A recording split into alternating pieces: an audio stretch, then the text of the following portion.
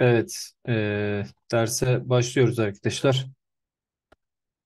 Şimdi sıfır matematik kampı temel kavramların üçüncü dersi. Bu derste temel kavramları bitireceğim. Bir sonraki ders rasyonel sayılar, sonra bölme bölünebilme olacak. Bu haftanın ders programı bu şekilde arkadaşlar. Tamam. Perşembe, Cuma ders yapacağız. Cumartesi, Pazar ders yok. Tekrarlarınızı yaparsınız, sorularınızı çözersiniz, ödevlerinizi yaparsınız. Bir sonraki derse hazırlığınızı yaparsınız arkadaşlar. Gelecek haftanın ders notunu en geç cumartesi, cuma, cumartesi sizinle paylaşmış olacağım. Evet çalıştınız mı arkadaşlar? Buraya ardışık sayılar, asal sayılar ve faktöriyel kimler çalıştı?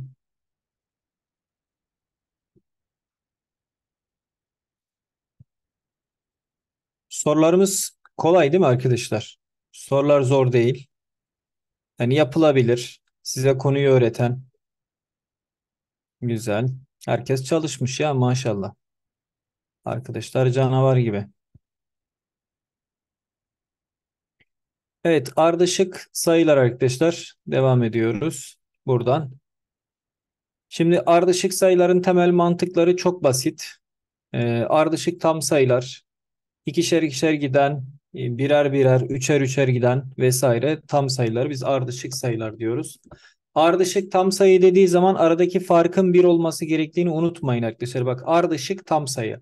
Mantık belli. Ardışık tam sayı diyorsa aralarındaki fark mutlaka birdir. Birer birer artıyordur.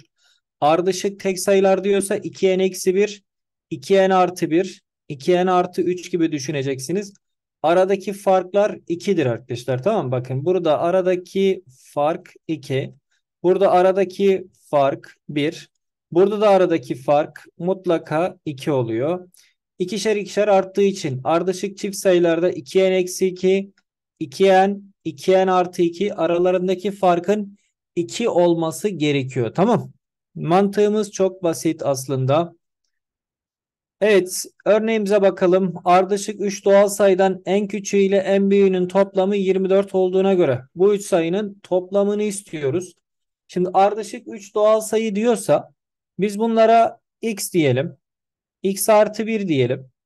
Diğerine de x artı 2 diyelim. Bakın bu şekilde görüyoruz. En küçüğü ile en büyüğü. En küçüğü x, en büyüğü x artı 2. Bunların toplamı 24'müş. 2 at karşıya. 2x eşittir 22. Buradan x eşittir 11'miş. Demek ki sayılar 11. Bir sonraki 12. Bir sonraki 13 oluyor. Bunların toplamı 36. Ardışık 3 sayı var. Ardışık dediği için birer birer artarak gidiyor. 1, 2, 3 gibi. 11, 12, 13 gibi düşünmeniz lazım. Basit mantıklar. Evet 46. 2a eksi 3 ile a artı 1 sayıları ardışık sayılar ise a'nın alabileceği değerler toplamı. Şimdi ardışık sayılarsa hangisinin büyük olduğunu biliyor muyuz? Yani 2a eksi 3 mü büyüktür? a artı 1 mi büyüktür? Hangisinin büyük olduğunu bilmiyoruz. Yani bilmediğimizden dolayı ardışık sayılar mantığına göre ikisinden birinin birbirinden büyük olması lazım. Yani 3'e 4 gibi, 4'e 5 gibi. Şimdi o zaman mantık olarak birinci durum şöyle düşünüyorsunuz. 2a eksi 3'ün büyük olduğunu düşünelim. O zaman 2a eksi 3'ten bakın 2a eksi 3'ten a artı 1'i çıkaracağız. Eksi a artı 1'i çıkardığımızda sonucu 1 bulmamız lazım. Aradaki ardışık sayılar olduğu için farkın 1 olması lazım. Eksiyi dağıtıyorum. 2a eksi 3. Bakın bu eksiyi dağıttığım zaman eksi a eksi 1 sonuç 1. 2a'dan a çıktı. Burada a kaldı. Eksi 3 eksi 1 daha eksi 4 eşittir 1. Eksi 4'ü karşıya attığımızda a eşittir kaç olur? 5 olur. a'ya 5 verdiğim zaman 2 kere 5 10 3 çıkardınız 7. Yani o zaman ne olur? Burası 7 olur. Burası 6 oluyor. 7'ye 6 ardışık sayılar mı? Evet ardışık sayılar. Yani illa 6'ya 7 olmak zorunda değil. 7'ye 6 mantık olarak ardışık sayılar. Birinci mantığımız bu. 2a eksi 3'ün büyük olduğu durumlarda bunu yaptık. İkinci durum a artı 1'in büyük olması gerektiği durumlar. O zaman A artı 1'den 2A eksi 3'ü çıkarıp farka yine 1 dememiz lazım. Eksiyi yine dağıtıyoruz. Buradan A artı 1 eksi 2A. Şimdi şuradaki sorun bakın şuradaki eksiyle buradaki eksi çarpılır.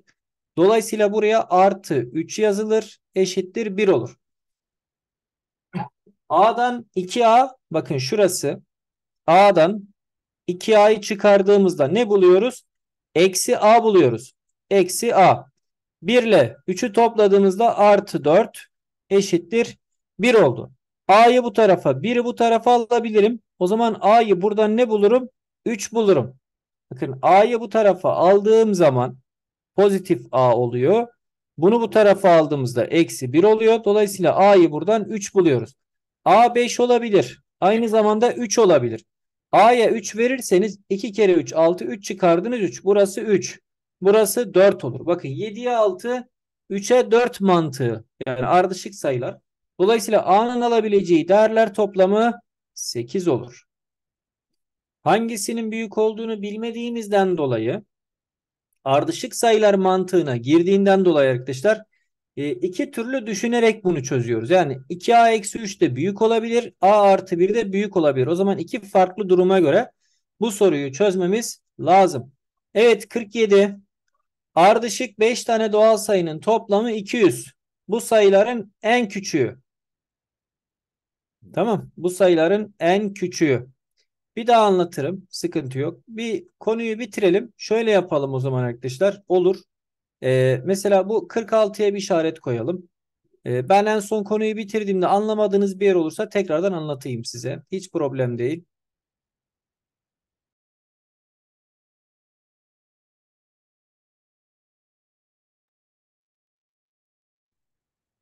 Yani mantık olarak şu. E, bir daha üzerinden özet geçeyim. Bak. 2a eksi 3 büyük olabilir. a artı 1'den.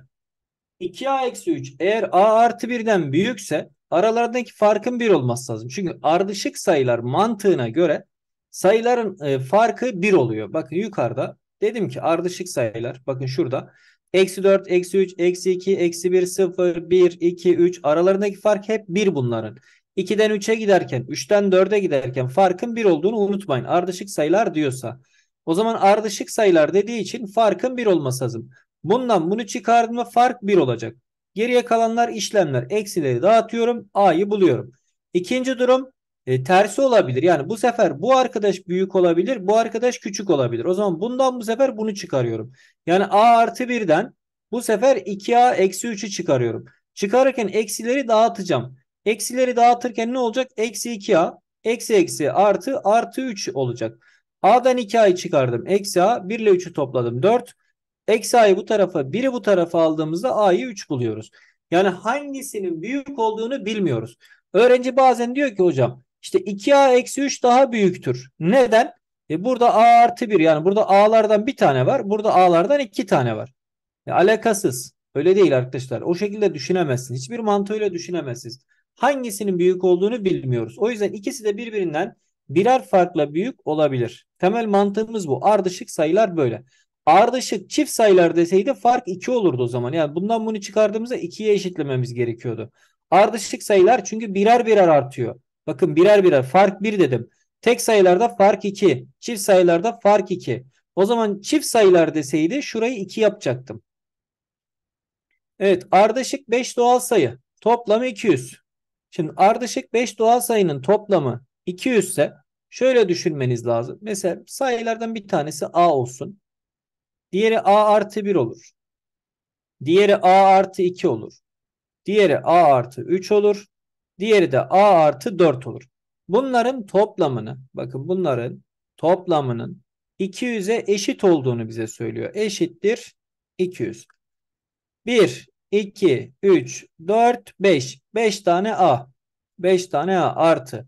1 ile 2'yi topladım 3. 3 ile 3 topladım. 6 4 ile topladım 10. 5A artı 10 eşittir. 200.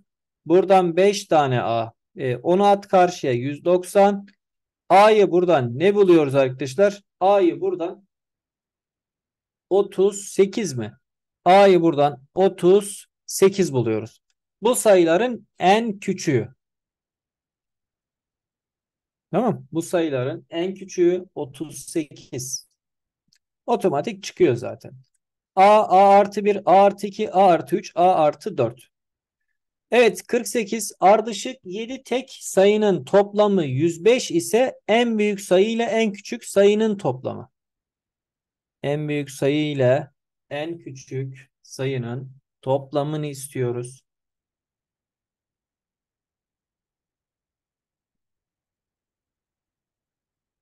Ardışık 7 tane sayı var. Aa, şimdi şöyle yapabilirsiniz arkadaşlar. Yani hani benim yaptığım gibi. İşte x x artı 2. Neden 2? Tek sayılar. Tek sayılar ikişer ikişer artar. Bak ikişer ikişer artıyor. Asla unutma. x x artı 1 yapamazsın. Tek sayılar ikişer ikişer artar. x artı 4. x artı 6. x artı 8. Mesela böyle yapabilirsiniz. x artı 10. x artı 12. Bunların hepsini toplayıp 105'e eşitleyebilirsiniz. Ama bu uzun yol. Bu kadar uzatmaya gerek olduğunu düşünmüyorum. Daha basiti var. Onu öğreteceğim. Bakın şöyle düşünüyorsunuz. 7 tane sayı. 1, 2, 3, 4, 5, 6, 7. Ben ortadaki sayıyı bulmak istiyorum. Ortadaki sayı bu. Ben bu sayıyı nasıl bulabilirim? Bu sayıyı çok basit bir yolla bulabilirim. Elimde 105 var. Elimde 7 var. O zaman 105'i direkt 7'ye böldüğüm zaman ortadaki sayı olan 15 çıkacak.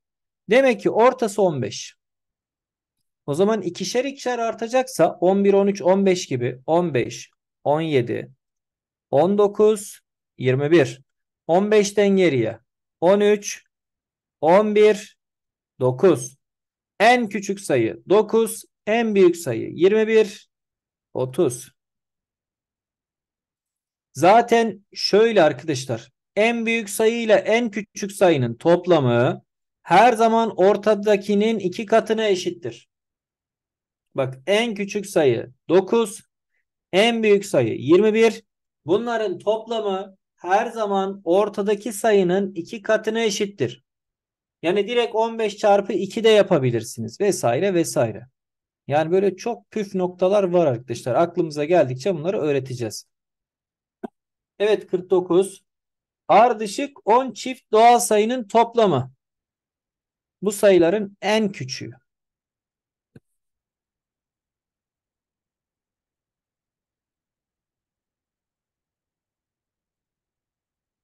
Mantığı yukarıdan kaptınız. Neydi? Ortayı bulacaktık. Ortayı bulacağız. 1, 2, 3, 4, 5, 6, 7, 8, 9, 10. Ortası yok. Orta yok. Yani 5 tane burada var, 5 tane burada var. Ortası neresi? Ortası tam olarak burası. O zaman e, ortası olmadığı için yani ortadaki sayı yok arkadaşlar. Tamam. O zaman ne yapıyoruz? Yine mantığımız aynı. 210'u 10'a bölüyoruz. Ne geldi? 21 geldi. Neresi 21? Ortası 21. Ama sayılarımız ne? Çift. O zaman 21'in bir fazlası nedir? 22. 21'in bir eksiği nedir? 20. Bakın burayı da böyle. 22, 20, 24, 26, 28, 30. 18, 16, 14, 12. Her zaman bize ortayı veriyor. Orta varsa yukarıdaki gibi direkt ortadaki sayıyı veriyor. Orta yoksa bütün sayıların ortasını veriyor. Ortada 5 tane burada 5 tane burada. O zaman ortası burası. Ama burada dahil değil. Yani çünkü burada böyle bir sayı yok aslında ama ortasını alıyoruz. O zaman bir fazlası bir eksiği. Gerisini zaten kendiniz şekillendiriyorsunuz arkadaşlar. Basit mantıklar. Evet 50.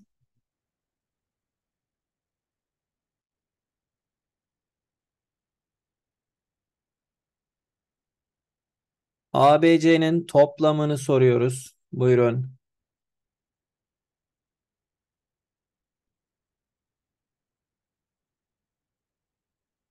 Ardışık çift sayılar. Bu tür sorularda ben gene de şunu söylüyorum. Mesela buna K deyin. Çift sayılar ikişer ikişer artıyor. Buna K artı 2 deyin. Buna da k artı 4 diyeyim. Hepsini k cinsinden yazdık mı? Yazdık. O zaman a gördüğüm yere k diyeceğim. a gördüğüm yere k diyeceğim. b gördüğüm yere k artı 2 diyeceğim. c gördüğüm yere k artı 4 diyeceğim. Bunları getirip aşağıda yazacağım. k eksi 2 parantezinde k artı 2 artı 3 parantezinde k artı 4 eşittir 20. Ha şimdi burada denklemi çözmek lazım. Yani eksileri dağıtar, parantezi dağıtarak vesaire vesaire. Dağıtmamız gereken ifade burası. İçeriye dağıtıyorsunuz. Dağıtmanız gereken ifade burası. İçeriye dağıtıyorsunuz. K 2 kere K eksi 2K 2 kere 2 4 eksi 4 artı 3 tane K 3 kere 4 12 eşittir 20. Bak şimdi basit anlayalım. K'dan 3K bir de eksi 2K. İlle sırayla yapmak zorunda değilsiniz. K ile 3K'yı toplarım 4K. 2K'yı çıkardım 2K. Yani bu üçününden 2K çıktı. Eksi 4 artı 12 nedir? Artı 8. Eşittir 20. 8 at karşıya. 2K eşittir 12. K eşittir 6. K 6'ymış. Yani bu arkadaş 6, bu arkadaş 8, bu arkadaş 10. 6 artı 8 artı 10 eşittir 24. K, K artı 2, K artı 4 diyorsunuz. Getiriyorsunuz yerine yazıyorsunuz. Yani arkadaşlar şimdi matematik bir derya. Şimdi şöyle söyleyeyim. İşte hocam yani bunların %70'ini anladım. Bazılarını anlayamıyorum. Ödev testleri veriyorsunuz. Bazılarını çözüyorum. Bazılarını çözemiyorum. Yani yeniysen bu tür sorunları bir tek sen yaşamayacaksın. Sen yaşamıyorsun. Senden önce de yaşayanlar var. Senden sonra da yaşayanlar olacak. Burada önemli olan sabırlı olmaktır. Ben sana 20 tane soru verdiysem 20'sinin de 20'sini çözmek zorunda değilsin. 15 tanesini çözdüm. Bak çok güzel. %75 yapar. 15 tane çözdüyseniz %75 başarılı sayılırsınız. Kaldı %25. 5 tane çözemiyorsunuz. Olabilir. Çözüm videosu varsa izleyeceksin. Yoksa grubumuz var gruba sor. Yoksa arkadaşına sor. Yoksa hocana sor. Yoksa bana sor. Birilerine sordur çözdür o soruyu.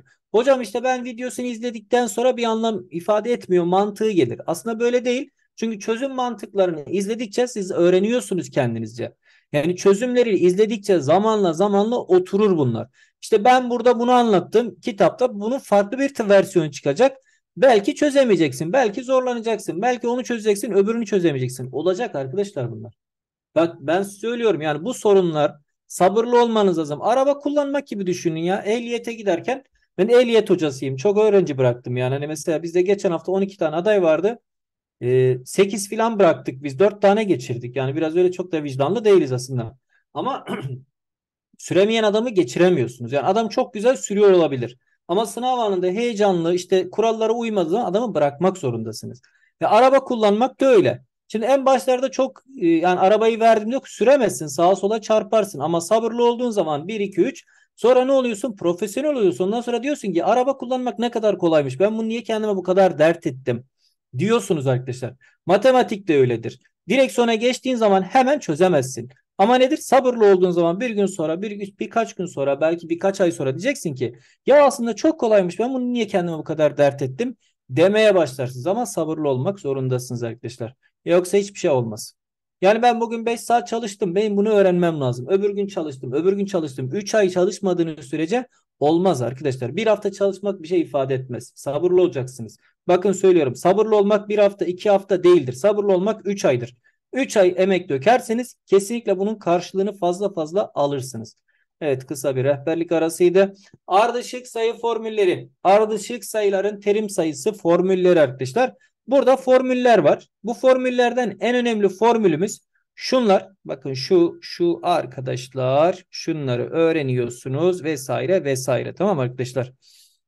Şimdi buradan terim sayısı son terim bakın son terimden ilk terimi çıkarıyorsunuz. Son terimden ilk terimi çıkarıyorsunuz. Artış miktarı kaçar kaçar artıyorsa ona bir ekliyorsunuz arkadaşlar. Tamam. Burada terim sayısını bilmek lazım. Terim sayısı dediğimiz son terim, ilk terim, artış miktarı artı bir. Bu formülü kendi ismin gibi bileceksin. Yani ezberleyin bunu arkadaşlar. Bunu kesinlikle ezberlemek zorundasınız. Terim sayısı mantığı. Ortanca terim. Son terimden ilk terimi topluyorsunuz. Kesinlikle ikiye bölüyorsunuz. Tamam arkadaşlar? Kesinlikle ikiye bölüyorsunuz. Tamam.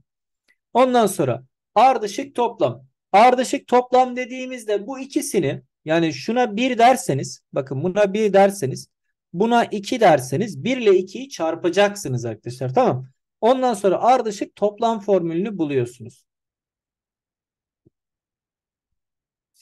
Ardışık sayılar toplamı özel kurallar arkadaşlar. Bu yukarıdakilerin e, ufak tefek e, kurallaştırılmış hali gibi düşünebilirsiniz. Ama aslında şu formülü bilirseniz hepsini yapıyorsunuz. O formülü bil, bilmeniz lazım. Kesinlikle şu aşağıdakileri ister bilin ister bilmeyin.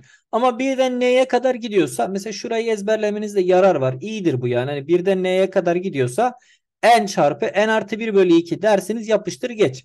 Mesela bu sarı da önemli. Diğer ikisi çok da önemli değil. Ama biliyorsanız yaparsınız. Bilmiyorsanız da çok da önemli değil. İşte birden 2n eksi 1'e gidecek. n kare olacak. Ya burada karışıklık şöyle oluyor. Şimdi öğrenci bak bir, birden 1 artı 2 artı 3 artı den den den 19'a kadar gitti. Basit mantık şurası. Ney? 19. Bir fazlası 20 bölü 2. 22'ye böldüm. 10. 19'la çarptım. 190. Bak mis gibi bir formülümüz var elimizde. Eyvallah. Şimdi peki öğrenci şöyle yaparsa ne olacak? 1 artı 3 artı 5 artı den den den teker teker gidiyor 19. Şimdi en kare neresi? Bak dedik ya en kare yapacaksın. En kare neresi? Sen şimdi burayı 19'un karesi mi yapmak istiyorsun yani? O zaman yanlış oluyor. Formül yani ya, formülü biliyorsun ama yanlış uyguluyorsun. En dediğin olay şu arkadaşlar. 2n eksi 1 19'a eşit. Yani o zaman şöyle diyeceksin. 2n eksi 1 eşittir 19. 1 at karşıya 20. n eşittir buradan 10 geldi. Dolayısıyla bu ifade 1'den 19'a kadar olan sayıların toplam formülü n kare yani 10'un karesi yani 100 oluyor. Ya bu kadar uğraşacağı kadar zaten 1, 3, 5, 7, 19 terim sayımız var belli. İşte son terimle ilk terimi çıkarıp artış miktarına bölüp 1 ekliyorsunuz. Terim sayısı çıkıyor. Son terimle ilk terim toplayıp 2'ye böldüğünüzde zaten yine 100'ü buluyorsunuz. Yani bu kadar kasmaya gerek yok. O yüzden sarıyı öğrenin. Bu ikisini öğrenmek zorunda olduğunuzu düşünmüyorum. Yani öğrenecekseniz de mantığını iyi öğrenin yoksa yanlış yaparsınız. Tamam çok da ÖSYM sormuyor zaten. Böyle formüllerle ÖSYM'nin çok fazla işi olmuyor arkadaşlar. Onu söyleyeyim. 51 birden 100'e kadar olan sayıların toplam formülü. Buyurun. Sizdeyiz.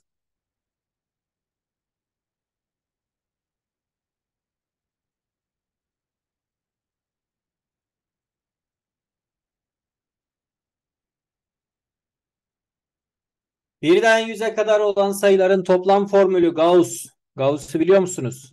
Yani Gauss ilkokuldayken söyleniliyor. Ne kadar doğru bilmiyorum ama ilkokulda hocası Gauss 4. ya da 5. sınıfta olabilir. Tahtaya bu formülü soruyor ee, öğrencilere. Yani size de bir saat süre diyor. Hadi oturun yapın diyor. Yani öyle eğlencesine sormuş herhalde hoca. Gauss bunu 2 dakikada filan yani 2-3 dakika diyelim böyle 10 saniyede olduğunu zannetmiyorum ama 2-3 dakikada bunu çözmüş arkadaşlar. İlkokul 5. sınıfa giden bir çocuktan bahsediyoruz. Ya dahi matematikler böyle olur. E, ve bu çocuk bunu çözerken tabii formül mantığını şöyle öğren öğretiyor. Hani e, şunu anladım diyor. Birincisiyle ikincisini topladığım zaman 101 yapar diyor. Bununla bunu topladığım zaman da 101 yapar diyor. İşte bununla 98'i topladığım zaman da 101 yapar diyor. Her seferinde 101'i buluyoruz diyor. 50 tane 101'den bahsediyor burada diyor. 50 tane 101'i yaptığı zaman 5050 olur diyor. Yani ilkokul mantığıyla bunu söylemiş mesela hocasına. Öyle anlatılıyor. Birinci ile sonuncuyu hep bu şekilde topladığımız hep ortanca terimi bize verir diyor. O da 50 tane yapar diyor. Gibi gibi. Yani işte. Şimdi bu aslında Gauss'un formülü buradan yani oradan geliyor bu. Şimdi mantığı belli. Şimdi kaç tane terim var? Öncelikle terim sayısı bakın. TS terim sayısı zaten birden 100'e kadar gidiyor. 100 tane terimimiz var. Çok güzel. Ortanca terim. Ortanca terim. Ortanca terim neydi? Son terim. artı ilk terim bölü 2. Yani nedir? 101 bölü 2'den bahsediyor. Bu.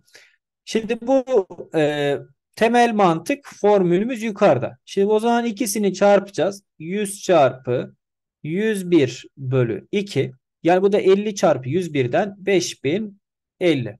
Bu bir. İkincisi şuradaki sarı formül. Birden n'e kadar olan sayıların e, çarpım formülü neydi? 100 çarpı bir fazlası 101 bölü 2. Aynı yere varıyor. Tamam. Yani ister şu sarıyı kullan, ister bunu kullan. Sonuçta aynı yere varacaksın. 3'ten 29'a kadar olan sayıların toplamı. Buyurun.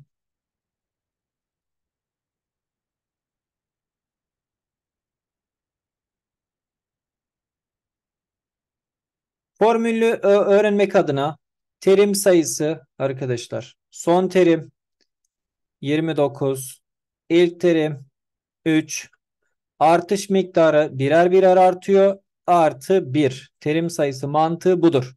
Öğrenin. 26, bir daha 27. 27 tane terim var. bir de ortanca terim var. Ortanca terim, son terim, ilk terim bölü 2. 32 bölü 2 16. Bu ikisini çarptığınızda 27 çarpı 16 bize toplamı veriyor. 432. Yani başka bir yolu daha var ama gerek yok.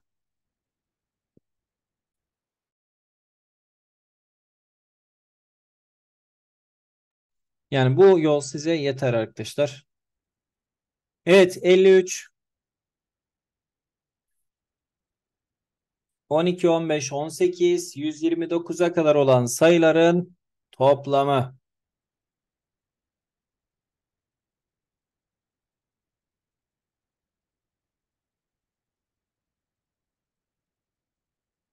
Maşallah herkes farklı bir şey söylemiş ya. 4189, 1920, 3000 bilmem ne, 2820. Evet. Formülümüz belli. Terim sayısı TS. Son terim 129. İlk terim 12. Üçer üçer artıyor. Artı 1. Eşittir. 117. 3'e böldüğünüzde 39 yapar. 1 eklediğinizde 40 yapar. Burada 40 tane terim var. Tamam. Ortanca terim. Ortanca terim eşittir. Son terim 129. İlk terim 12 bölü 2. Yani bu da neye eşit? 141 bölü 2. Çarpacağız arkadaşlar. Yani siz 40 ile 141 bölü 2'yi çarptığınızda bu bize toplamı verir. Toplam. E sadeleştirelim. Yani o zaman şurayla şurayı sadeleştirirseniz 20. 20 ile 141'i çarpacaksınız. 20 çarpı 141. Bu da nedir? 284 ile 0 ekliyorsunuz. 200, 141 pardon pardon şurası. Şöyle 141 2820 tamam. Yani aslında basit. Terim sayısını bulduğunuzda eğer zaten burayı 40 buluyorsanız bir şeyden korkmanıza gerek yok. Demek çarpımı kolay olacak. Ortanca terimi buluyorsunuz. Hocam 141'i 2'ye bölemeyiz. E kalsın böyle ne fark eder çarptığın zaman zaten sonuç çıkıyor arkadaşım tamam Formülleri pekiştirmek adına biraz e, örneklerimiz çok. 4'ten 200'e kadar olan dörder dörder giden sayıların toplam formülü. Buyurun. Ya ben size ne yapayım? Basit basit sorular. Temiz temiz sorular. Terim sayısı. Bak mantığımız hep belli ya. Terim sayısı. Son terim. Eksi ilk terim. Dörder dörder. Artı bir. Yani bu da zaten 50 tane terim olduğunu gösterir. 50 tane terim var. Ortanca terim. Ortanca terimde son terim artı ilk terim bölü 2. Yani bu da 102. 50 ile 102'yi çarpacağız. Toplam 50 çarpı 102 E, bu da 5100. 4 parantezini alsak olur. Hiç sıkıntı yok. Ben olsam normalde öyle yapardım ama şimdi çok kafa karıştırmak da istemiyorum. Yani yeni öğrenen arkadaşlar var. Zaten onu herkes biliyorsa hani yapan zaten biliyorsa sıkıntı yok. 4 parantezin alsa 1 artı 2 artı 3 artı den den den 50'ye kadar olan sayılar. Dolayısıyla 4 çarpı 50'ye kadar olan sayıların formülü 50 çarpı 51 bölü 2'den buradan da direkt bulabilirsiniz arkadaşlar. Yani birkaç yolu var. Zaten bir e, sorunun illa kesin bir yolu vardır diyemeyiz. Birkaç çözüm yolu vardır. Evet 55 işleminin sonucu. Mesela ÖSYM 55 gibi sorular sormuş arkadaşlar. Geçmiş yıllarda böyle sorularınız var.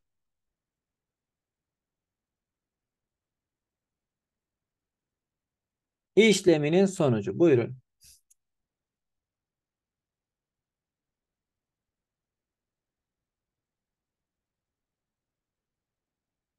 Evet. 55 mi? Eksi 9 mu?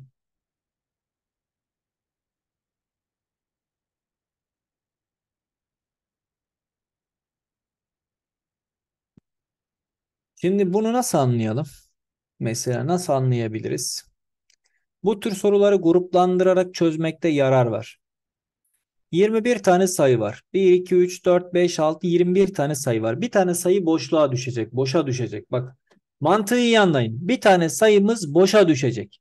Hangi sayımız boşa düşecek? Kafa karıştırmamak adına biri boşta bırakıyorum. 2'den 3'ü çıkaracağım. 4'ten 5'i çıkaracağım. 6'dan 7'yi çıkaracağım. Devam edecek. 20'den 21'i çıkaracağım. Bak. Şimdi 2'den 3 çıkarsa ne olur? Eksi 1 olur. 4'ten 5 çıkarsa eksi 1. 6'dan 7 çıkarsa eksi 1. 8'den 9 çıkarsa eksi 1. 10'dan 11 çıkarsa eksi 1. Eksi 1 diye böyle gider. Kaç tane eksi 1 var? Bak kaç tane eksi 1'imiz var? 10 tane eksi 1'imiz var. Çünkü niye? 21 tane sayı var.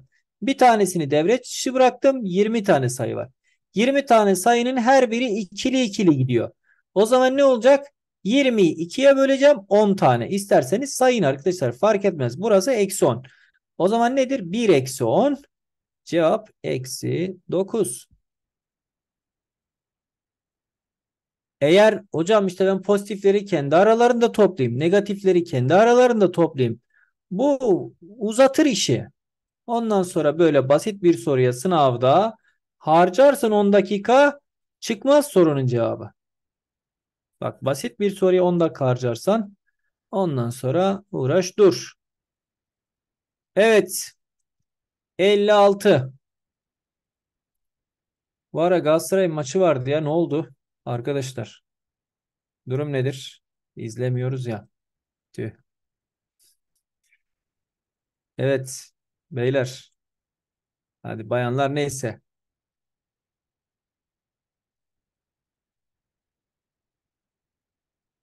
Kimse maç izlemiyormuş. Ne güzel. Aferin size. Sınava hazırlanıyorsunuz. İyi.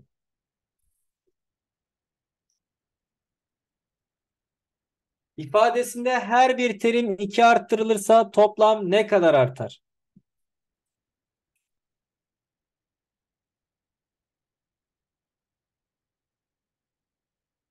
Harbiden kimse izlemiyormuş. Vallahi kimse izlemiyormuş.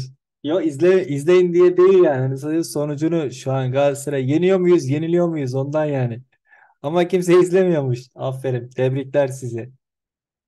Her bir terim 2 arttırılırsa toplam ne kadar artar? Şimdi bunu her terimi 2 arttırarak tek tek tek tek uğraşmaya gerek yok arkadaşlar. Şimdi bazen öğrenci şey yapar. İşte bunu 7 yapayım, bunu 13 yapayım, bunu 18 yapayım, bunu 93 yapayım. Burayı kendi arasında ayrı toplayayım. Burayı kendi arasında ayrı toplayayım. Burası diyelim ki 500 çıktı. Burası diyelim ki 350 çıktı. Çıkarayım. 150 yazayım. Ya arkadaş sınav bitti daha. Ne uğraşıyorsun bu kadar? Yani basit yolları bilirsen bu kadar uğraşmazsın. Ne yapıyoruz? Her bir toplam 2-0 yeniliyor muyuz? Ders iptal arkadaşlar. Her bir toplam kötüymüş ya. Tamam arkadaşlar ben bir şey sormadım. Siz ben ders anlatamam. Her bir toplam arkadaşlar 2 arttırılıyor ya. Her bir terim. Burada 2 karımız var. Burada 2 karımız var. Burada 2 karımız var. Her birinde 2 karımız var.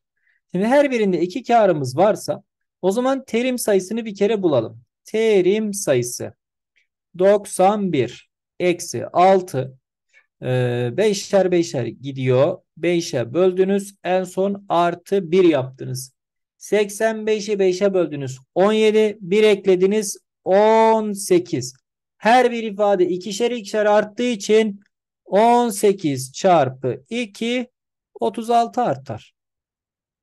Bu kadar. Bu kadar basit. 57. Evet şöyle kalsın. Çözümü görün. 200 sayfalık bir kitabı birden başlayarak numaralandırmak için toplam kaç tane rakam kullanılmalıdır?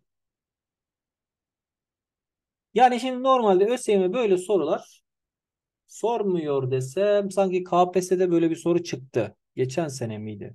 Bir KPSS sınavında böyle soru sordu ÖSYM. Öğrenciler öyle dedi. Hocam KPSS'de buna benzer bir soru çıktı dedi. Hani ben soruyu bizzat görmedim ama öyle dediler bana. Bakmak lazım soruya.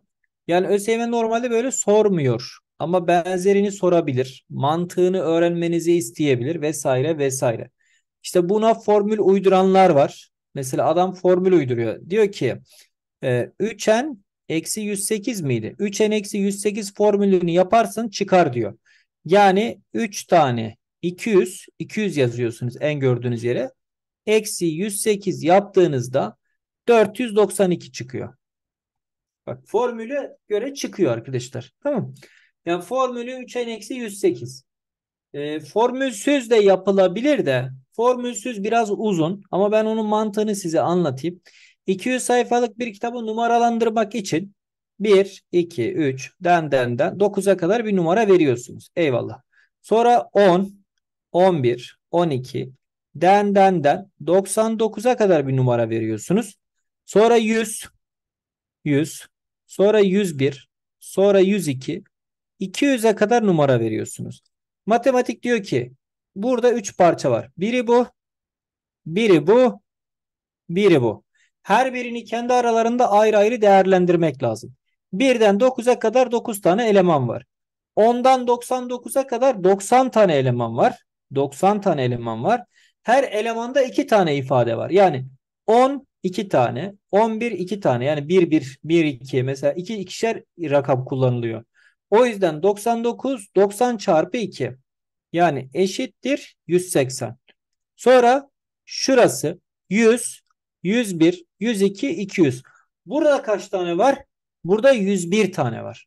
Şimdi normalde 100, 101 bak 101'den başlasa zaten 100 tane. Bir tane de burada var 101 tane. Dolayısıyla burası 101. E, her bir sayıda 3 rakam olduğu için 101 ile 3'ü çarpacaksınız. 303. Sonra bunları tek tek topluyorsunuz arkadaşlar. Yani 9 artı 180 artı 303 492. Ya bu formülü yapacaksınız. Yukarıdaki şu formülü yapacaksınız. Basit basit çıkacak. Ya da aşağıdakini tek tek yapacaksınız arkadaşlar. Tamam ben mantığını anlatayım. İsteyen istediğini yapsın. Ardışık sayıların temel mantığı bu. Asal sayılara giriş yapacağım. Birkaç tane de soru çözeceğim. Bir ara vereceğim arkadaşlar. Şimdi asal sayılar bir ve kendisinden başka böleni olmayan sayılara biz ne diyoruz? Asal sayılar diyoruz. En küçük asal sayı 2'dir. Yani birden başka böleni yok. En küçük asal sayının 2 olduğunu unutmayın. Aynı zamanda tek tek bir tane çift sayı. 2'den başka asal sayılar hiçbir zaman çift olmaz. Sadece 2 çift arkadaşlar. Tamam Bunu asla unutmayın. Sadece 2'nin kendisi çift oluyor. Negatif asal sayı yoktur. Asal sayılar pozitif olmak zorunda. Belli bir formülü yok. 2 ve 3 haricindeki birçok asal sayı 6 sayısının bir eksi ya da bir fazlasına eşittir. Böyle bir formül uydurmuşlar. Mesela diyelim ki 23. 23 nedir? 6 kere 4 eksi 1. 23. Gördün mü? Bak asal çıktı hemen. Her zaman böyle olmaz diyor ama matematik. Yani mesela 35 olmaz bu şarta. 35 mesela neye eşit? 6 çarpı 6 eksi 1. Asal olmadı ama 37 olur. 37 nedir? 6 çarpı 6 artı 1. 37 oldu. Yani birçok asal sayıyı 6'nın katlarının bir eksiği bir fazlası gibi düşünebilirsiniz diyor. E, buna bir şey uydurmuşlar yani ama kesin değil tabii bu ifadeler. Çünkü asal sayılar gerçekten e, devasa bir küme değişik bir şey. Asal sayılar sonsuzdur. En büyük asal sayı 2 üzeri 77 milyon tarzında bir şeydir arkadaşlar. Mersenne asalları diyoruz biz buna işte 23 milyon basamağa e, sahipmiş. 9000 sayfalık bir kitaba sığacak kadar uzunlukta bir şey. Yani burada kafayı yemiş matematikçiler canları sıkılmış asal sayıları tek tek yapan bir ekip var arkadaşlar. Asal sayıları yapan bir ekip var. İşi gücü asal sayı bulmak. Bunlara da bir isim de bulmuşlar Mersenne asalları diye. Yani adamlar bakın 77 milyon basamaklı işte 23 milyon basamaklı sayıların varıncaya kadar asal olup olmadığını buluyorlarmış tek tek. Önemli bir şey demek ki. Birden 100'e kadar olan asal sayılar arkadaşlar 2, 3, 5, 7, 11, 13, 17, 19, 23. Bunları öğrenin. Bakın bunları öğrenin. Ben size söyleyeyim. Bunlar size lazım olur. 97 asal, 89 asal. Mesela 91 asal değil. 91 asal değil. Bak 93 de asal değil. 91 asal değil. Halbuki çok asalmış gibi duruyor. Asal değil. 111 asal değil. 111 asal değil. 117 asal değil. Yani asal gibi duruyor olabilir ama asal değil bu sayılar arkadaşlar. Tamam? Bunları bilmenizde yarar var. İşte buna benzer şeyler var. 89, 83, 79, 73, 71. Aralarında asal sayılar. Şimdi asal sayılar var bir de kendi aralarında asal olan mantıklar var. Bakın aralarındaki asal sayılarda şunu bilmeniz lazım. Aralarında asal sayılar ifadesi varsa bu sayılar asal olmak zorunda değil. Tamam. Sayılar aralarında asaldır ama asal sayı değildir. Olabilir. Aralarında asal sayılar diyorsanız aralarında asaldır bunlar. İlla kendileri asaldır diye bir kural yok arkadaşlar. Ortak böleni yok demek. Yani 2 ile 5'in ortak böleni var mı? E, yok. 7 ile 8'in ortak böleni var mı? Yok. 8 ile 9'un yok. 12 ile 25'in yok. Şimdi 12 ile 25 aralarında asal. 12 asal mı? Değil. 25 asal mı? Değil. Ama bunları bölen ortak bir sayı var mı? Yok. Hocam bir bölüyor. Bir hepsini bölüyor. Bir haricinde diyoruz zaten. Yani ikisinin ortak bir noktası yok arkadaşlar. O yüzden bunlar aralarında asal oluyor. Ardışık iki sayı daima aralarında asaldır arkadaşlar. Unutmayın 7 ile 8, 8 ile 9, 2n ile 2n artı 1 mutlaka aralarında asaldır. Evet bu 3 soru sonra ara veriyoruz. Rakamları toplamı da asal olan kaç tane iki basamaklı asal sayı vardır? Rakamları toplamı asal olacak. İki basamaklı asal sayı olacak. Hmm. 11 mesela. 1 ile 1'in toplamı olur. Ee, 17, 19, 23. 23. Söyleyin yazalım. 29. 37, 39, 41 mi? 41, 47, 43, 47.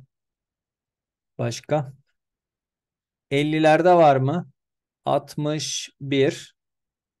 Ee, 61, 67, 67 olur. Değil mi? Vereceğiz ara. 67, 71, 79, 83, 89. Bunlar herhalde. 1, 2, 3, 4, 5, 6, 7, 8, 9, 10 tane. E, rakamlarının toplamı da asal arkadaşlar. Yani sayıların kendileri asal. Aynı zamanda rakamların toplamı da asal. ÖSYM sever bu soruları. Bakın ÖSYM mantıklı soruları sever. Mantık olacak sorun içinde. ÖSYM bunları sever arkadaşlar. Evet bu son sorumuz ara veriyoruz. 59 A ve pozitif reel sayılar A ile B'nin toplamı kaçtır? Buyurun. Aradan önceki son sorumuz. A ve B pozitif reel sayılar. A, B toplamı. Şimdi burada ne yapıyoruz? Bunu öğretelim. Şimdi matematik bir bütün. Özellikle bakın büyük harflerle yazıyorum. C1. C1'in tamamı bütünseldir. Temel kavramların içerisinde üslü sayılar çıkabilir. Köklü sayılar çıkabilir. Mutlak değer çıkabilir. E, eşitsizlik çıkabilir. Çıkabilir oğlu çıkabilir. Çarpanlara ayırma çıkabilir. O yüzden temel kavramlar matematiğin en geniş, en geniş ve en gıcık konusudur arkadaşlar. Temel kavramlar çok geniştir. Her şeyi içine alır.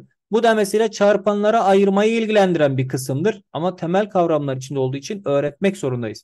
O yüzden ben cebiri tam anlamak istiyorum diyorsanız çarpanlara ayırma olan kadar kısmı nispeten anlamak zorundasınız arkadaşlar. Yoksa yani hepsi iç içe olduğu için bir yerde patlak veriyor. Sabırlı olacaksınız. Yani benim sadece sizden demek istediğim sabırlı olacağım bir 3 ay sabredeceğim. Olur, düzelir. Düzelir ama sabırla çalışmaya devam etmek şartıyla. Şimdi 4b kare bakın burası a kare. 4b kare ile 2 tane b'nin parantez karesi gibi düşünürseniz 11. Burası bir toplama bir çıkarmadır arkadaşlar. 2 kare farkı var. O zaman burayı a artı 2b çarpı a eksi 2b 11 gibi düşünüyoruz. Ondan sonra 11 ise burası 11 burası 1 olacak. O zaman şöyle düşünüyorum. A artı 2B 11 A eksi 2B 1. Topla şimdi bunu alt alta. Hoş geldiniz çarpanlara ayırma. Şimdi bakın bunları şey yaptınız. 2A 2A eşittir 12 ise A ne çıktı buradan? 6 çıktı. A neymiş? 6'ymış. Getir herhangi bir yerde yerine yaz. Mesela burada yaz. A'ya 6 verirseniz yani A eksi 2B madem 1'miş. A'ya 6 verdiniz. 6 eksi 2B 1 ise 2B ne olmak zorunda? 5 olmak zorunda. B ne olmak zorunda? 5 bölü 2 olmak zorunda. 2'yi karşıya attım bölümü olarak 5 bölü 2 oldu. O zaman A ile B'nin toplamı ne olur? 6 artı 5 bölü 2 6 kere 2 12 5 daha 17 17 bölü 2. Tamam. Biraz böyle. Yani bu evet temel kavramların konusu, evet asal sayıların konusu ama işin içerisine bazen çarpanlara ayırma da girer, üslü de girer. Yani olacak bunlar olacak arkadaşlar. Burada ara veriyoruz. Bir, e, 10 dakika molanız var arkadaşlar. Kimse bir yere kaybolmasın. Kaydı durduruyorum. 10 dakika sonra başlayacağız. Örnek atmış. X, Y, Z farklı asal sayı. X, Y, Z toplamı nedir? Asal sayılar. Farklı asal sayılar.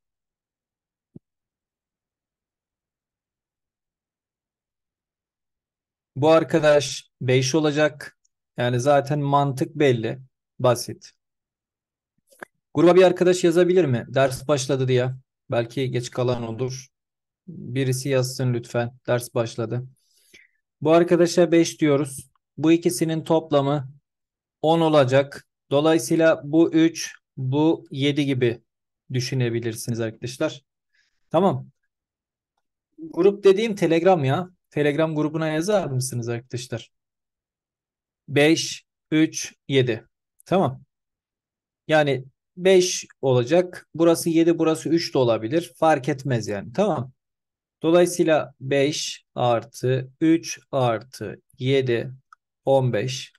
Başka olmaz zaten. Yani hani bunu 50'yi sağlayabilecek tek yer burası arkadaşlar. Ha şöyle düşünebilirsiniz. 2 olsa hocam. Burası 25.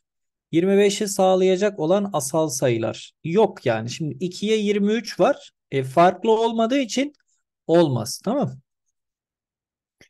Evet. Devam ediyorum. Ediyorum değil mi? Ediyorum.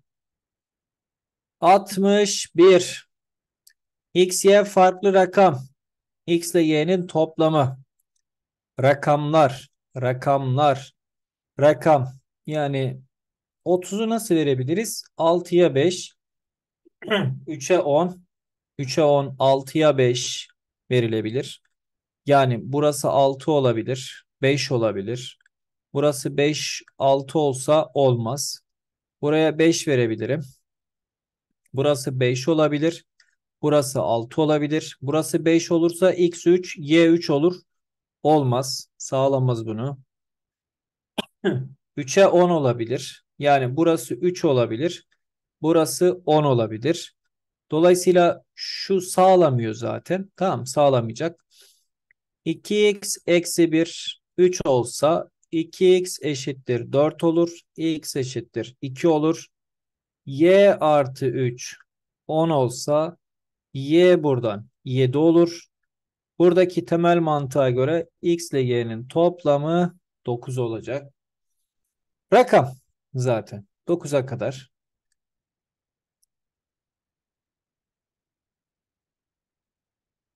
Evet 62.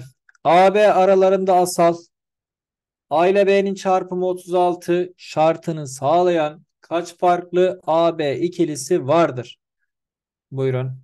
A ile B'nin çarpımı 36 olacak şekilde aralarında asal sayılarmış.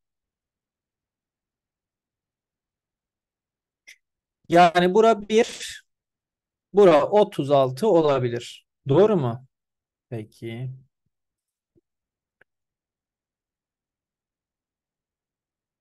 Dörde 9 olabilir. 4 kere 9 36.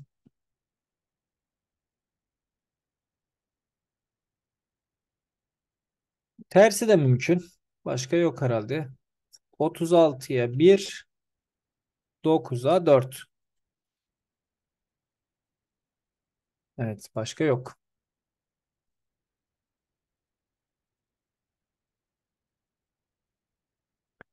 Devam ediyoruz. Bitti bu konu.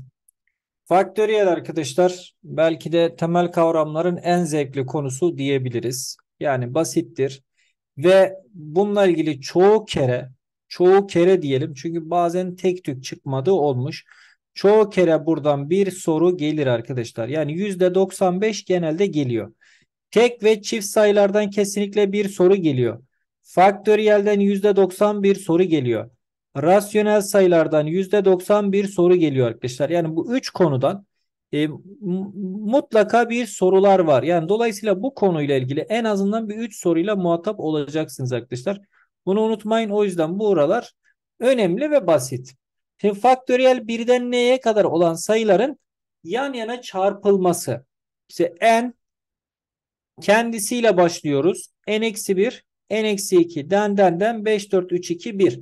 Birden n'ye kadar olan sayıları tek tek yan yana çarpıyoruz arkadaşlar. 0 faktöriyel 1'dir. Unutmayın. 1 faktöriyel zaten 1. 2 faktöriyel 2. 3 faktöriyel 6. 4 faktöriyel 24. 5 faktöriyel 120. 6 faktöriyel 720. Zaten gerisi gerek yok. Ama tabii hani bu kadarını bilmemiz lazım. Şimdi al 2 3 faktöriyel nereye gider? 4 faktöriyel, 5 faktöriyel, 6 faktöriyel nereye gider? Bilmemiz lazım arkadaşlar. Tamam. Faktöriyel konusuyla ilgili bilmeniz gereken bazı detaylar var. Sondan kaç basamağı sıfırdır? Ya da sondan kaç basamağı dokuzdur? Bu gibi durumlarda ifadeleri bir kere düzenliyorsunuz. Düzenledikten sonra faktöriyel sayısını her zaman 5'e bölüyoruz. Hocam ne alaka ya? Sondan kaç basamağı 0 demiş. Sondan kaç basamağı 9 demiş. Ama biz 5'e bölüyoruz. Ne alakası var diye düşünüyor olabilirsiniz. Şimdi burada şöyle. 0 dediğimiz olay yani 10. 10 dediğimiz olay 2 ve 5'lerden oluşur. Genelde 2'yi bulmak kolaydır ama 5'i bulmak zordur. 5 daha az bulunur. Yani sayılarda 5 her zaman az bulunuyor arkadaşlar. 2 daha çok bulunuyor. O yüzden aza göre düşünüyorsunuz. 5'i bulursam zaten mutlaka 2 bulmuş oluyorum.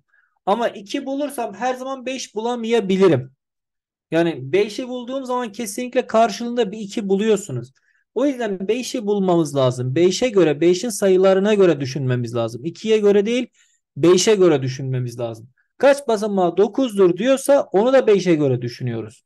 Yani burada ifadeyi kesinlikle 5'e bölüyorsunuz arkadaşlar. Bunu asla unutmayın. Son basamağı ya da birler basamağı, son basamak birler basamağı kaçtır gibi durumlarda 4 faktöriyel sayısına kadar olan kısmı alıyoruz. Geriye kalanları siliyoruz arkadaşlar. Bize 4 faktöriyel kadar olan kısım yeterli. Faktöriyel istediğimiz yerde durdurabiliriz. En önemli kural da burasıdır arkadaşlar. Bununla ilgili çıkıyor zaten sorular. İstediğiniz yerde durdurun. 8 faktöriyeli 8, 7, 6 faktöriyel durdu. 13 faktöriyel 13, 12, 11, 10 faktöriyel. n faktöriyeli n faktöriyel çarpı n çarpı n eksi 1 faktöriyel. n faktöriyel n, n eksi 1, n eksi 2 faktöriyel. Bakın istediğim yerde durdurabiliyorum. Zaten bunlarla ilgili sorular geliyor. Sadeleştirmeleri bunlardan yapıyoruz. n eksi 1 dediğim zaman önce n eksi 1 sonra n eksi 2. n artı 1 diyorsa önce n artı 1. Bakın önce sayının kendisiyle başlıyoruz. Neden? Şimdi ben 10 faktöriyel dediğim zaman 9'dan mı başlıyorsun? Hayır.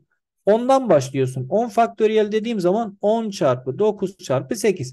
E ben de diyorum ki n artı 1 faktöriyel dediğim zaman o zaman önce n artı 1'den başlayacaksın. Yani kendisiyle başlıyorsunuz arkadaşlar tamam mı? Bu kısmı unutmayın. Bu kısmı bizim için önemli. Şimdi n artı 1 faktörel n artı 1 kendisi n işte bir eksiği bir eksiği daha iki eksiği gibi düşünebilirsiniz. 2n artı 1 2n artı 1 2n 2n eksi 1 istediğim yerde durdurabilirim. Şimdi n faktöriyel eşittir. n faktöriyel eşittir. a üzeri x çarpı b gibi durumlarda arkadaşlar x'in alabileceği en büyük değer soruluyorsa n sayısı a'nın kuvvetlerine bölünür. Yani ne demek istiyorum biraz sonra öğrenebilirsin. Öğreneceksin örneklerde daha detaylı. Çok bunu bilmeye gerek yok. Hani zaten örnekte anlarsın. Bulunan bölümler toplanır. A burada asal sayı olacak. Yani zaten konuyu ileride anlattığımızda faktöriyel konusunu çok çok daha detaylı anlatacağız. Orada çok daha fazla soru çözeceğiz sizinle. Daha iyi anlayacaksınız.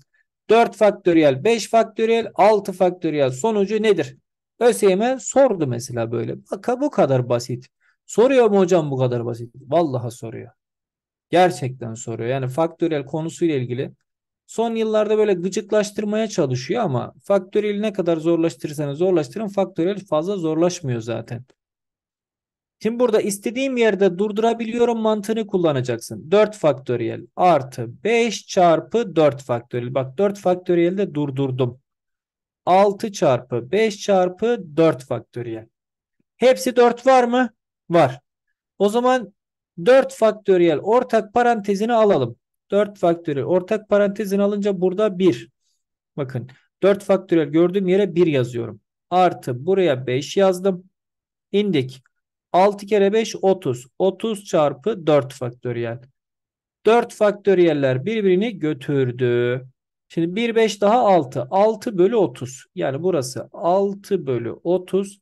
Sadeleştirdiğim zaman 1 bölü 5 olur.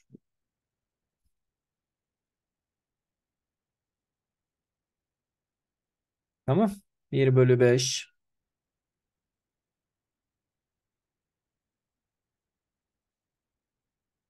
Evet. 64. N kaçtır?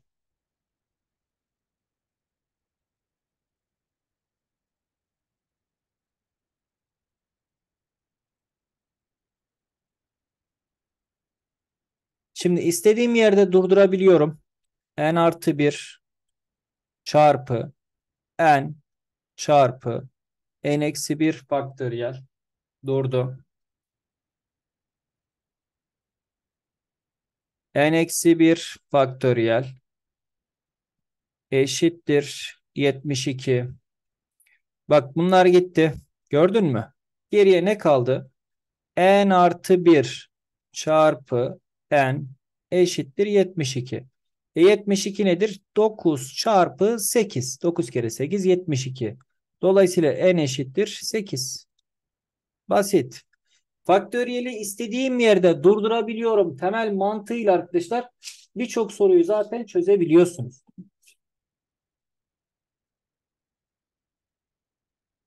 Evet 65 n kaçtır?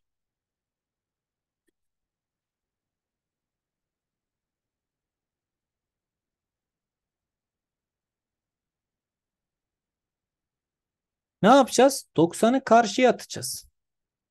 Bak. 2n eksi 4 hani açsanız da bir şey ifade etmeyeceği için mecbur karşıya atarak gideceksiniz. 2n eksi 4 faktöriyel eşittir. 8 faktöriyel çarpı 90. İş burada. Burada. Çünkü buraya yapacak bir şey yok. Yani, yani zaten eni bulmaya çalışıyorum. Zaten açamam. Açsam da zaten işime yaramaz. Dolayısıyla burayı düzeltiyoruz arkadaşlar. Bak tamam. 2n eksi 4 faktöriyel eşittir. 90'ı şöyle yazalım. E, 9'u 90'ı 10 çarpı 9 çarpı 8 faktöriyel.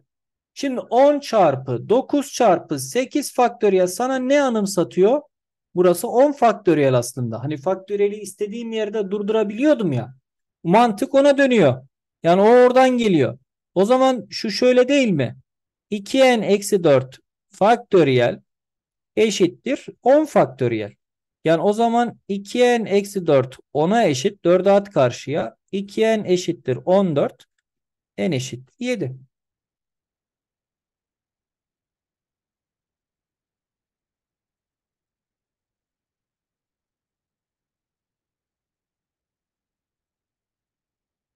Evet 66.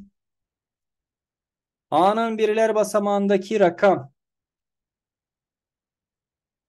A sayısının birler basamağındaki rakam.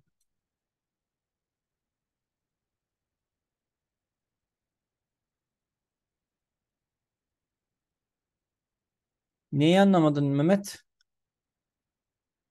Bak 90'ı buraya attım. 90 dediğimiz ne? 10 çarpı 9.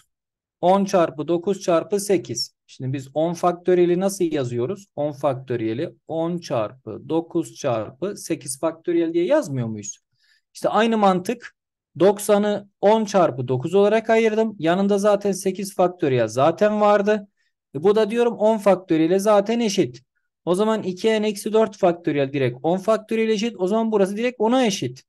2n eksi 4 10'a eşitse n buradan 7 olur. Mantığımız basit arkadaşlar. Şimdi A sayısının birler basamağındaki rakam.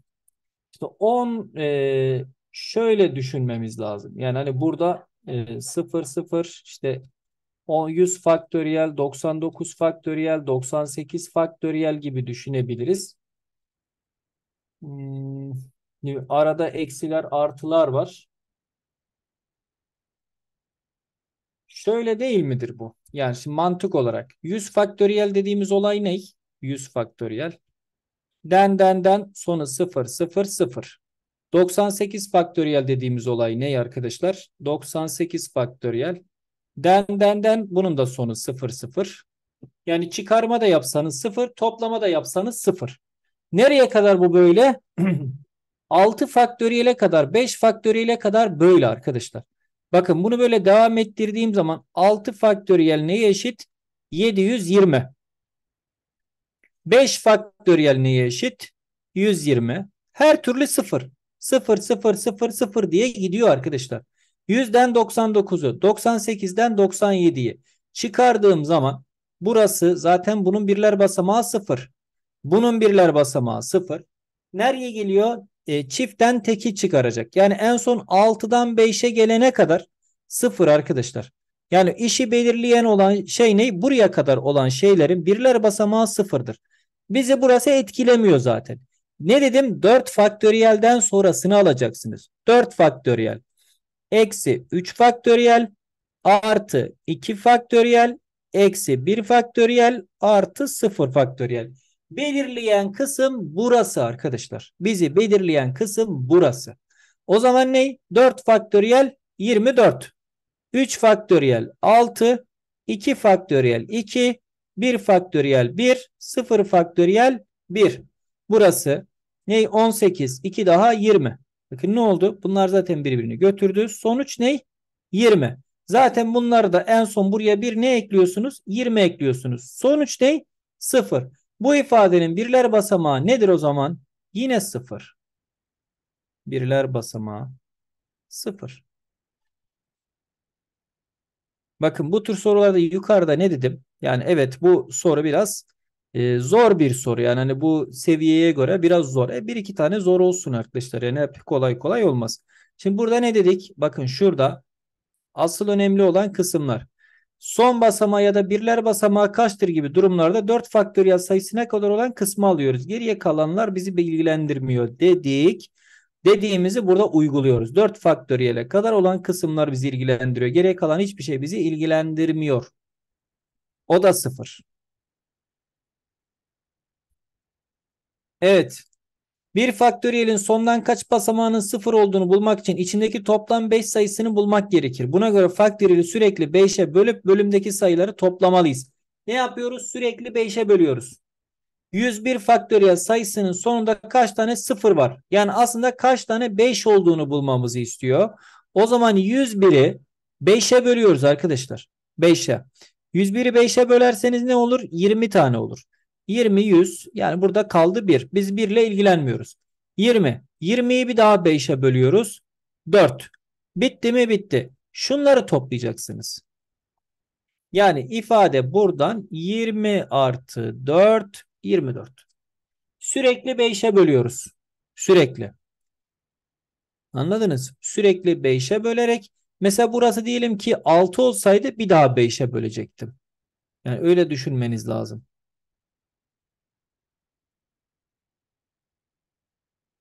Evet. Az kaldı. Geldik. Dedim ya yukarıda. Neden 5? Bak burada uzun uzadıya anlattım aslında. Ne dedik? Sondan kaç basamağı sıfırdır ya da 9'dur gibi durumlarda ifadeleri düzenledikten sonra faktöriyel sayısı ne zaman 5'e bölüyoruz. 5 dediğimiz ifade 10 ile ilgili. 10 dediğimiz ifade 2 ve 5'lerden oluşuyor. 2 çoktur, 5 azdır. O zaman her zaman 5'e göre düşünüyoruz. Dedim ya. Bak burada anlattım. Şunlara göre arkadaşlar bu kurallar boşuna yazmadım. Bu kurallara göre sorular her zaman çözülüyor.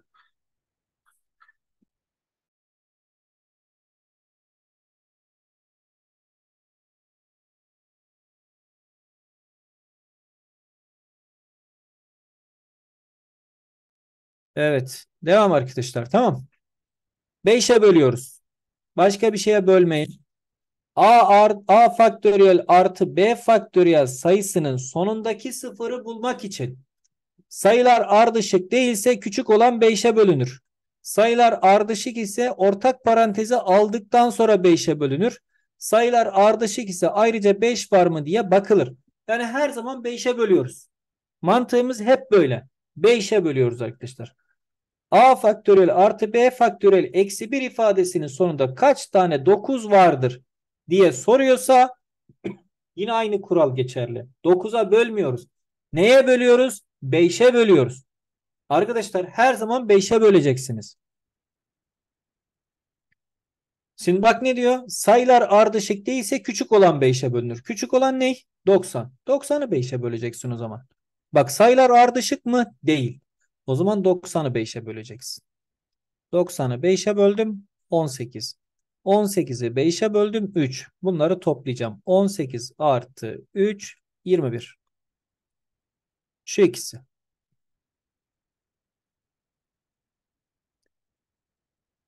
Sayılar ardışık mı? Ardışık. Bak ne dedik? Sayılar ardışıksa ortak paranteze aldıktan sonra 98 99 sayılar ardışık. O zaman 98 99 98 artı 99'u da 99 çarpı 98 faktöriyel. O zaman 98 faktöriyel ortak parantezini aldığımızda burada 1 kaldı. Burada 99 kaldı. 1 artı 99. Şimdi ifadeleri düzenledikten sonra 98 faktöriyel çarpı 100. Şimdi 98'in içinde kaç tane 5 var bakacağız. 98 5'e böldüm. 5'e böldüğümde 19. Bir daha 5'e böldüm. 3 geldi. Şimdi 19 elimde var. Eyvallah. 3 elimde var. Bir de 2 tane 0 da burada var arkadaşlar. Görüyor musunuz? Bakın 2 tane 0 da burada var. Yani dolayısıyla toplarken hepsini topluyoruz. 19 artı 3 2 tane de burada var. Artı 2 24.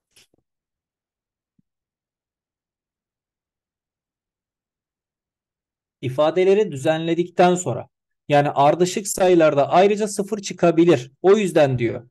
Burada ardışık olmadığı için direkt küçük olanı. Hocam küçük olan önünde eksi var. Arkadaşlar önemli değil. Eksi artı önemli değil. Küçük olan neredeyse onu yapıyoruz. Tamam. 80 faktöriyel eksi 1453 sayısının son 5 basamağındaki rakamların toplamı. Buyurun arkadaşlar. Son sayfa zaten 3 tane soru kaldı. 3 tane sorunuz var. Mesela bunu kim yaptı? Kimler yaptı? Evet. Son 5 basamağındaki rakamların toplamı.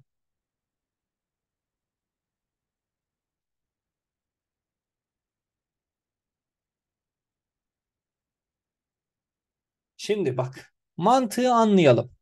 80 faktöriyel nedir? 80 faktöriyel. 80 faktöriyel den den den den 0 0 0 0 0 0 0 diye gidiyor. Doğru mu? 80 faktöriyel dediğimiz olay bu. 80 faktöriyelin içerisinde 16 19 tane 0 var. Şimdi 80 faktöriyel dediğimiz olay nedir? İşte A, B, C bilmem ne 0 0 0 0 0 0 0 0 0 diye giden bir sayı arkadaşlar. Şimdi siz bu sayıdan 1453'ü çıkaracaksınız. Bu sayıdan bakın 1453'ü çıkarıyorsunuz. Tamam. Çıkarma işlemi yapalım. Şimdi sıfırdan 3 çıkmaz. Komşuya gittim. Komşu da yok. Komşu da yok. Komşu da yok. Komşu da yok. Komşu da yok. En son şurada bir yerde bir tane buldum. Eleman buraya verdi bir onluk. O ona onluk verdi. O ona onluk verdi. O ona onluk verdi. Verdi verdi. Ne olur arkadaşlar? Buradaki sıfırlar ne oluyor aslında? 9 oluyor. 9 oluyor. 9 oluyor. Son 10 oluyor. Hani ilkokul demeyelim de ortaokulun temel matematik kuralları aslında. Komşuya onluk vermek gibi düşünmek lazım. Şimdi 10'dan 3 çıktı 7. 9'dan 5 çıktı 4. 9'dan 4 çıktı 5. 9'dan 1 çıktı 8. E burada da 9 var. Bakın buralar 9'a döndü tamam mı? Buralar hep 9'a döndü. O zaman en son buraya 9 indi. Bu böyle devam eder arkadaşlar tamam Bize son 5 basamak istiyor. O zaman ben burayı yapacağım. Yani burayı bulmam lazım. 9 artı 8 artı 5 artı 4 artı 7. 17, 21, 26, 33. Son 5 basamak. Mantığı anladınız mı arkadaşlar? 80 faktöriyelin sonunda 0 0 0 0 var. E bunlardan 1453 çıkaracağım. 0'dan 3 çıkmaz. 0'dan 5 çıkmaz. 0'dan 4 çıkmaz. Komşulara gidiyorum. Komşulardan bir yerden onluk alıyorum. Nereden aldığım önemli değil. O ona veriyor, o ona veriyor. Hep buralar 9 oluyor. En son komşu 10 oluyor. Çıkarma işlemi yapıyorum. Son 5 basamak çıkıyor ortaya. Evet bu 70. soru tipini ilk defa gördüm. İlk defa çözüyorum diyen kaç arkadaş var? Böyle soru tipi görmedim ben. Çözmedim diyenler var mı?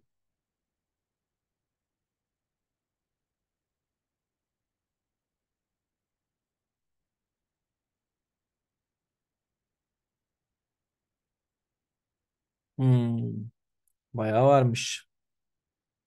İyi, iyi. İlkleri bizle öğreniyorsunuz. Olsun. Güzel.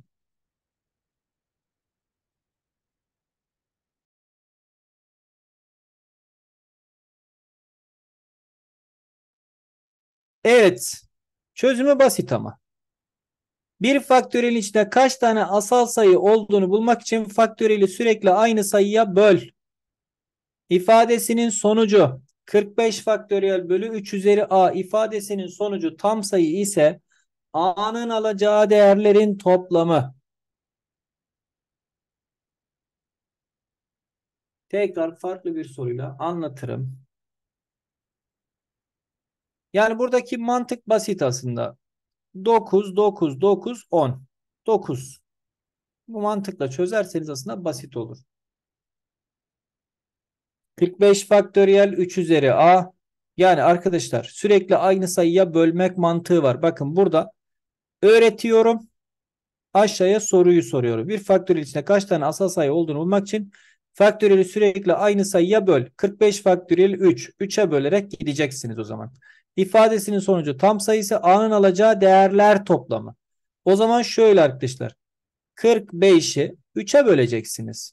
45'in içerisinde 3 15 kere var. Yetmez. 15'i 3'e böleceksiniz 5. 5'i 3'e böleceksiniz 1. Ne çıktı? 15, 20, 21. Ama şöyle bir sorunumuz var arkadaşlar. Onu söyleyeyim. 15, 20, 21. A'nın alacağı değerler toplamı mantığı var. Şunu söylüyoruz. Yani e, A burada bakın A burada 0 olabilir. 1 olabilir. 2 olabilir. 3 olabilir. Den den den. A burada en fazla 21 olabilir. Yani burada A'nın en fazla olabileceği 21'dir. O zaman 1 olabilir, 2 olabilir, 3 olabilir, 21'e kadar yolu var. O zaman buradaki temel mantık 1 artı, 2 artı, 3 artı 21'e kadar olan sayıların toplam formülüdür. 21 bir fazlası 22 bölü 2. Yani 21 çarpı 11 210 231. Tamam. Şimdi 21 bulanlar arasında doğru buldular. Ama ne? Eksik oldukları bir konu var. A'nın alabileceği değerler toplamı. Yani siz A'nın en son alacağı değerin 21 olduğunu buldunuz. Ama diğerlerini toplamadınız. A burada en fazla 21 olur. Bak mesela soruda A en fazla kaç olur deseydi 21 doğru olurdu. Toplamı dediği zaman hepsini topluyorsunuz. Evet son soru arkadaşlar. Son soru. Çok güzel bir soru. Hadi bakalım. Mesela ÖSYM böyle bir soru sormuş arkadaşlar. Geçmiş yıllarda. 7 faktöriyel, 6 faktöriyel, 5 faktöriyel, 5, 4, 3, 2 faktöriyel tarzında bir soru sormuş. Görüntüsü biraz zor. Aslında çözümü basit. Çözüm ortak çözüm. Yani ne dedik? Faktöriyeli istediğimiz yerde durdurabiliriz. Temel mantığımız hep basit arkadaşlar. Faktöriyeli istediğin yerde durdurabilirsin. O zaman 7, 6, 5. Hocam niye 5? E burada 5 var o yüzden yani. Hani en küçük 5 olduğu için 5 ile durduruyorum. Şimdi artı 6 faktöriyeli 6 çarpı 5 artı 5 bölü şimdi 5 faktöriyel 4 faktöriyel 3 faktöriyel 6 2 faktöriyel 2. Bak sana bir şey öğreteyim. Hepsinde 5 varsa 5'leri aslında silebilirsin. Ama bu sefer yanlış bir hesap yapacaksın. O yüzden öyle öğretmeyeceğim.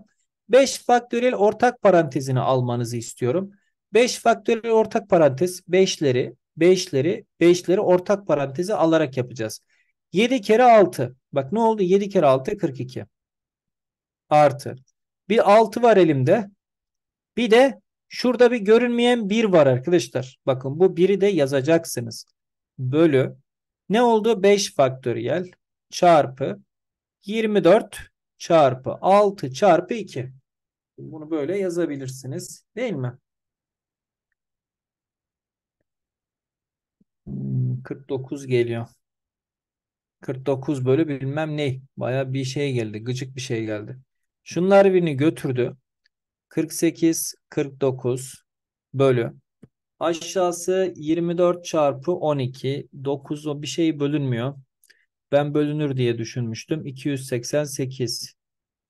Evet. Demek ki yanlış düşünmüşüm. Ben bölünür diye düşünmüştüm. Soruyu hazırlarken dedim bölünsün 48 olarak düşündüm demek burayı. 49 olarak düşünmedim. 48 olarak düşünmüşüm ama böyle de çıkabilir arkadaşlar. Bu böyle. ÖSYM böyle sormuş. Alsın. Bunda bir sıkıntı yok. Evet biraz uzun bir dersimiz oldu. Temel kavramları bitirmek için yaptığımız bir ders arkadaşlar. E, hayırlı uğurlu olsun. Gözünüz aydın. Evet temel kavramlar en kötü. Temel kavramları bitirdik. Bundan sonraki konularınız daha zevkli arkadaşlar. Onu söyleyeyim. Kaydımı durduruyorum.